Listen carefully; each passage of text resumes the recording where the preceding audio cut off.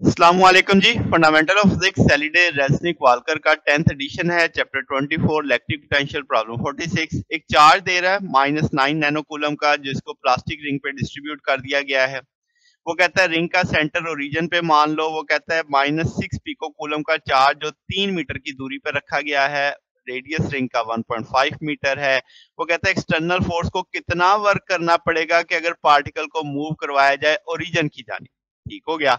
अब अगर हम देखें तो यहाँ पे आपके पास जो वर्क डन होगा चेंज इन पोटेंशियल एनर्जी का बाइस बनेगा। फाइनल माइनस निशल तो फाइनली तो वो ओरिजिन पे पहुँच जाएगा। तो इसका मतलब चार्जिस से उसकी दूरी सिर्फ़ आर जितनी रह जाएगी। इनिशियली उसकी जो दूरी होगी वो R square plus X square square root के बराबर आ जाएगी।